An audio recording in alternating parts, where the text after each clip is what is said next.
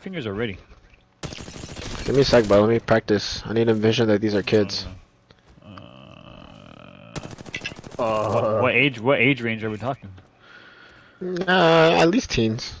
These teens. high school, good. Just wanted to make sure. Yeah, yeah, 18, 19. Come on, guys. They're legal adults, bro. I'm not. What do you mean? Come on, guys. So it's okay to kill legal adults? It's not, whoa, it's not okay to kill anybody, first of all. Of course not.